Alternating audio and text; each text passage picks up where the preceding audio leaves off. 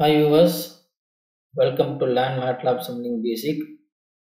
Today we are going to see about how to use transfer function block in MATLAB Simulink. So for that just you go to type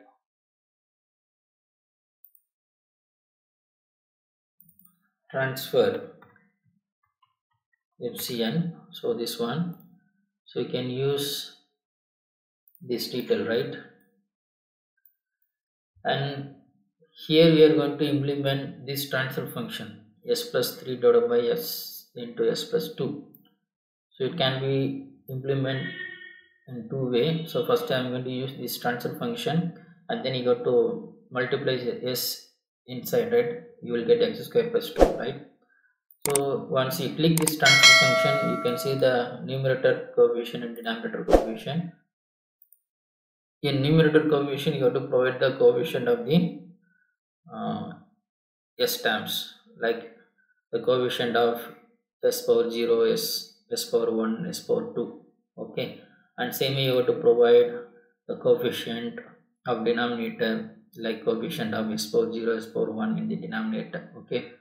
And then this the num order right? Uh, that, that mean num, uh, numerator coefficient order so it should be less than the denominator. Otherwise you will see the problem. For example i'm going to use 1 1 right? So that means the coefficient for a s, s, s power 0 s power 1 is 1 1 and also denominator coefficient yes i'm going to take 1 1 so just example. So for that i'm going to apply. So now you can there is no problem right? So it will accept the detail right? S plus 1 to the s plus 1 if suppose I'm going to provide 1 1 1 1 that means numerator having order is 2 the denominator having order 1 only right? Here we have s power 0 s power 1 denominator and numerator we have s power 0 s power 1 and s power 2 during that time it will it will not take.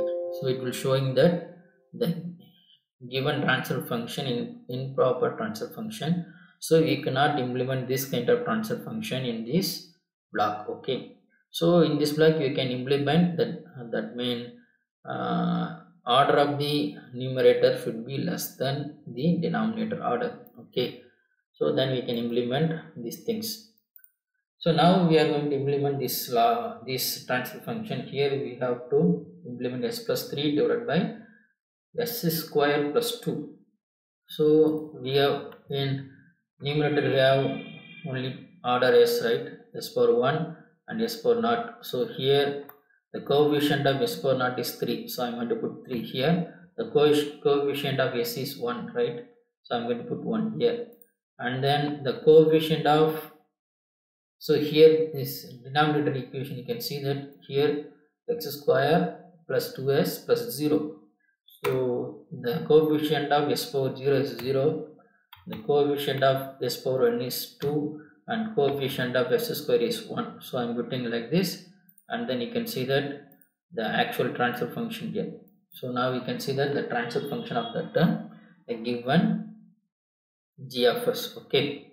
So next you have to check the results by providing input to the transfer function and then you can measure the input of the transfer function and then measure the output of transfer function. So here i'm going to use uh, initially constant and then it's going to be given to the input for the transfer function and then I'm going to measure the output in the transfer function. So here I'm going to use scope. So and then I'm going to use two scope that means so one is for a input another one is for a output okay. So now I provided the detail right? That means s plus 3 and uh, s plus 3 divided by x square s square plus 2s the input will be 1 and then here we are measuring the output. So here i'm going to measure the that means i'm going to simulate the model and then check the results.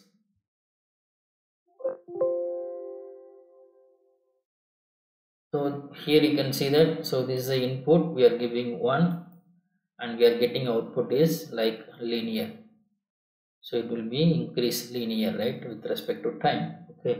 So this output we are getting okay? Suppose i'm going to increase the or decrease the amplitude 0.1 and then you can see the results of this transfer function. So here you can see that we are getting the output of this transfer function is like that okay? So we, we can implement the same transfer function with the uh, different concept right? So here you can see that so here you have s plus 3 and s into s plus 2 right? So we can implement the same concept by so you can use 1 plus 3 and then you can take this s plus 2 alone. So you can put 1 and 2 right? So here you will see that s plus 1 s plus 3 divided by s plus 2 so this time we will be had that means s plus 3 divided by s plus 2 and then you have to multiply it with 1 by s so for that you have to use integrator. So type integrator here. And then you can use this 1 by s. So now you can see that the whole transfer function which is equal to s plus 3 divided by s into s plus 2 so i'm going to provide the same input to this. Same input and then i'm going to measure the output of both whether both are having same output or not. Okay so here i'm going to simulate this one. So here you can see that both are same right? So we can implement the same in the any transfer function with a different kind of uh, block combination okay? So this is this way we can use the transfer function of uh, transfer function block in this Simulink okay? Thanks for watching our videos. Kindly subscribe our channel and also click bell icon for notification about upcoming videos. Thank you so much. Bye bye